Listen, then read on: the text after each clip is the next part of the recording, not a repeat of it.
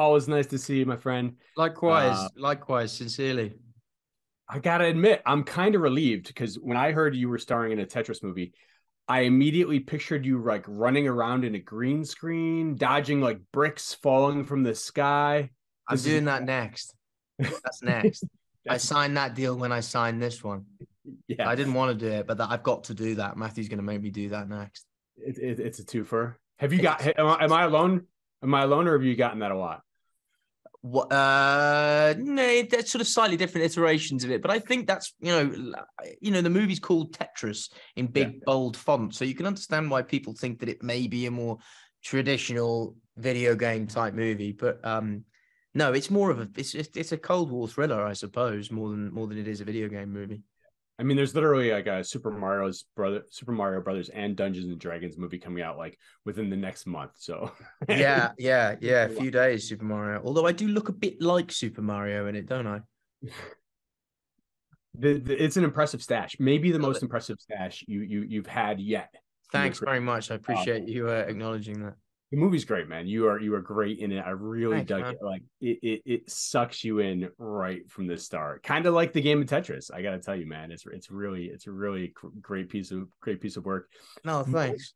most people i think at, at least of a certain age have played tetris but but most people probably do not know its bonkers ass backstory how, how did you react when you first found out the full story Well, like, yeah, I you know, I, I couldn't because I knew the game, had played the game a bit when I was young, but didn't know the story and sort of couldn't believe that no one had made a movie out of it already, to be honest.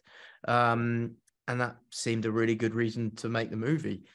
Matthew sent me the script during the first lockdown, and I found it to be a very compulsive read. And I really, really, really liked the character of Hank at the center of it. Just this kind of puppyish, charismatic, um, dogged person.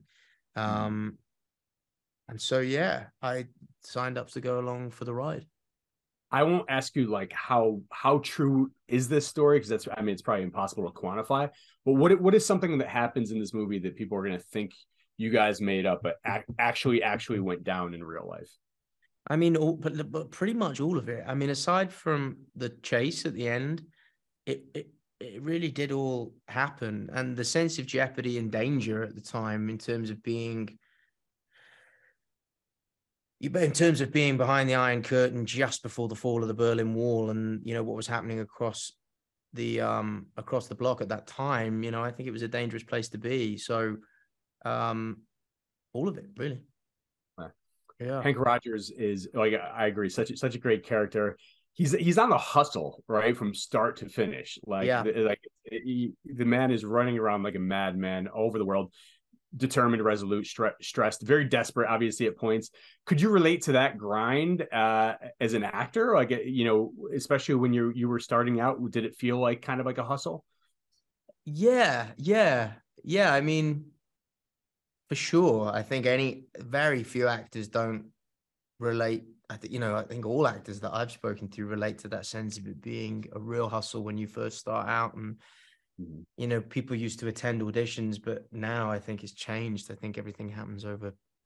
It happens down a sort of you know the the lens of your MacBook Pro or whatever now, you know, or to your iPhone, and um, but that time for me, you know, when I first left drama school, I do remember that feeling like a hustle. But you know, I was lucky. I, math, you know, I got that Kingsman role very early on. I remember going to audition for Matthew, and that meant that I was had a slightly easier ride of it from from there on out because it it was a it was great exposure. Um, but yeah, I like that about Hank. I like the fact that you know he's one of those people that no matter how many times you knock him down, he keeps getting better, back up.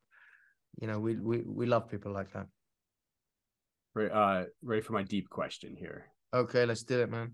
What actor inspires you most in your industry? Wow. I mean, oh, wow. I mean, I I think like I really like the performances that you feel that. So there are tremendous actors who give incredible performances, but there's a sort of like a they're more like a study and you kind of feel like you're outside of them.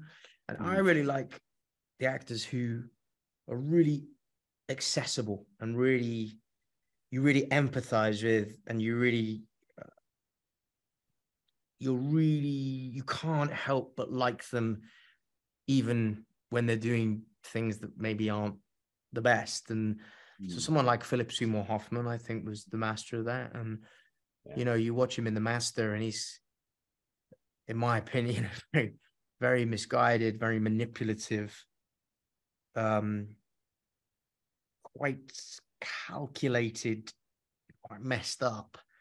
But you, you, you, you, you're so with him um, and it's kind of a i'm struggling to articulate what that quality is because it, it's it's it's sort of quite hard to define i think but i really like actors who are who who have that ability to let you inside coincidentally in that movie he's opposite Joaquin Phoenix and i think he has it as well Mhm. um um like younger actors you know like i think barry keoghan has it as well that thing of being able to do something that's very complex and maybe not that relatable or likable but you are you do relate and you do you you you do like them you know Mhm. um so th- those are the actors i most admire but quite wh- how, how you define that quality i i don't really know what it is but i can recognize it from one to another you know it's that special sauce. Yeah, PSH the master. He was the master. He was amazing. What a what, Yeah. a, what a terrible loss that was. We got through a whole interview without mention without me bringing up the Wolverine. Man, we're like, we're hey man we're, we're getting places. we're getting places that's development right there Always great. To, always great to see you, Terry. Man. kevin Uh, it's always honestly it's a, i really mean it it's always lovely to see you too man i hope it's in person one of these days yes, me too. Me too. all right mate take care bye dude